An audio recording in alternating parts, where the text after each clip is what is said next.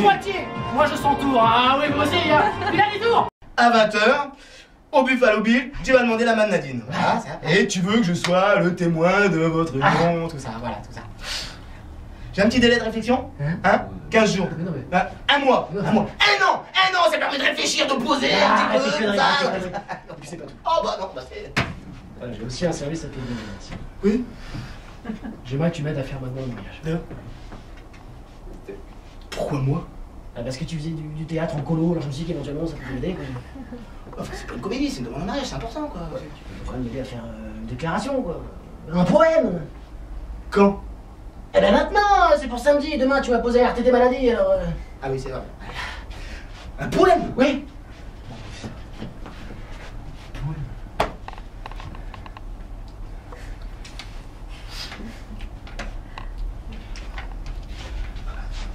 Oh, que j'aime ton prénom Euh, Nadine. Nadine.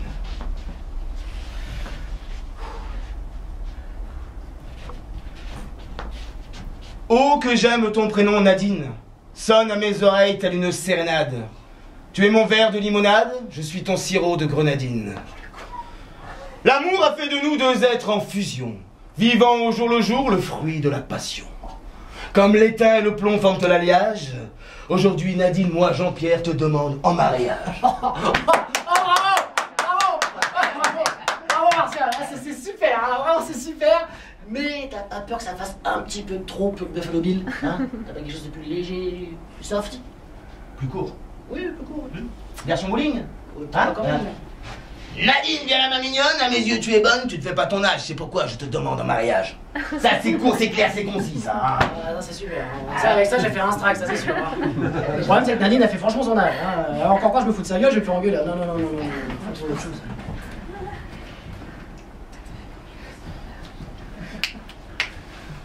Tu lui dirais quoi toi Nadine? Bah, si je pouvais, là, comme toi, là, le poème des métaux, là, c'était bien finalement. Ah, putain.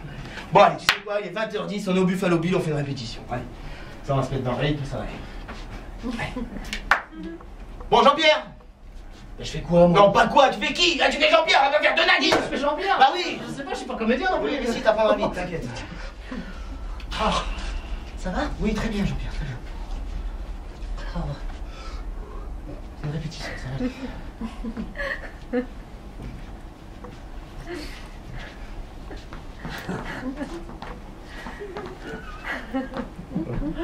Non, non, donne un bonbon. Pas fraise, j'aime pas ça, ça. Non, le violet. le Ah, mais faut pas choisir, Jean-Pierre.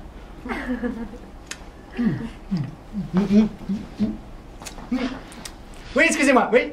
Oui, j'ai réservé une table pour 20h, il est 20h10, hein, au nom de Minard. Jean-Pierre et Nadine Minard. Faute Jean-Pierre Nadine Minard, t'es pas marié Jean-Pierre? Ah bah Alors comment Oh non. Oui, bah oui, non. Oui, oui, exact. Bah oui, bah non, c'est faut qu'on s'en un petit peu quand même, hein. Allez.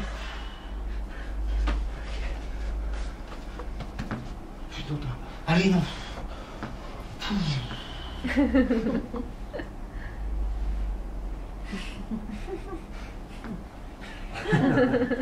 Bravo. C'est dingue. Elle est presque enceinte, on a Ah, réalisé. Jean-Pierre, je sais pas. C'est que je me suis trompé tout à l'heure, c'est pour ça. Ah, Ça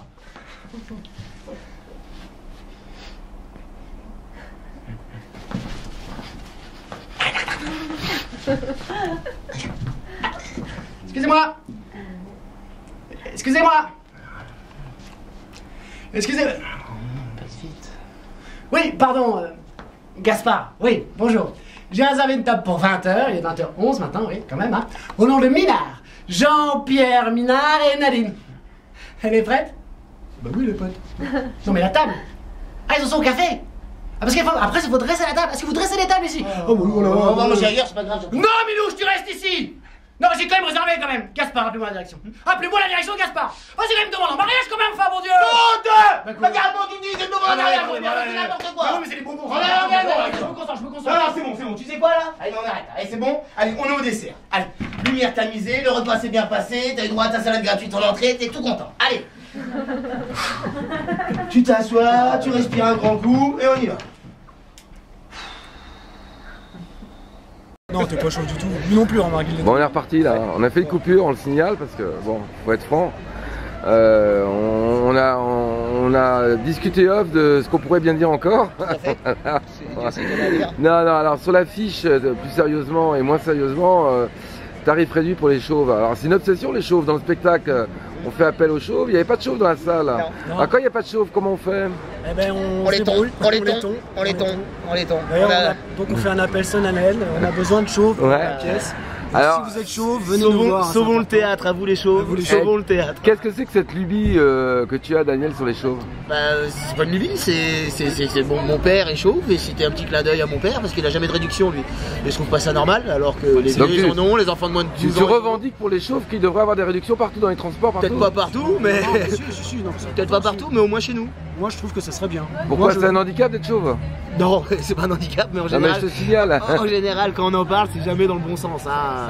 Il manquerait plus que soit petit et chauve. Eh ben, mon père Si, est petit et chauve, peux- alors au moins qu'il paye de dis, t'as tarif. t'as le front Ah, il paraît que les chauves sont alertes. euh, tu vois ce que je veux dire sur les bords, non C'est pas ça Non, alerte, alerte, alerte. Alerte à. Olivier Je sais Moi, pas. Je sais pas, qu'est-ce que t'entends par alerte Je sais pas, genre- sont- Alerte au lit Ah, chaud bouillant Ouais. Oui Ah Bah, je, Ah, mais c'est pour ça Je Ah, suis là, je ça. suis là, je suis là. Ah bah ça va mieux, Je moi. suis là quand on est une famille de trois, mais bon, c'est vrai qu'il a une bonne réputation. ce truc. Non, mais Encore, Daniel, ça- Daniel, je te signale que si ton papa est chauve, tu Oui. risques de l'être. Oui, non, mais c'est mal barré pour ça. Euh, je rentre dans ma 40e année et. je- Mais pas justement, un poil. c'est- Pas un poil. Ah, là, Ah, peut ça arrive d'une année à l'autre. euh. aller. Me porte pas malheur, s'il te plaît. Bon, alors tout le côté, on n'a pas beaucoup parlé du côté un peu euh, décalé, euh, de ce monde un peu euh, louvdingue dans la pièce. Euh, Vous voulez redire un mot là-dessus? Non. ça suffit comme ça Non, non, non, non, ouais, non, c'est clair que non, c'est assez décalé, mais c'est- il y a une origine. Encore une fois, on revient sur le, Ouais. le raison du pourquoi du comment, c'est que écriture, café théâtre, moins impro, et c'est le mélange des deux qui a fait un truc assez marrant. C'est qu'en impro, évidemment, on peut faire des choses tout à fait loufoques, délirantes, des, des rêves, on peut implanter des choses. Moi, j'ai amené cette partie-là, et Daniel a amené la rigueur de l'écriture, en fait. C'est cette association qui fait que on a une pièce qui est assez barrée quand même, je crois, Ouais.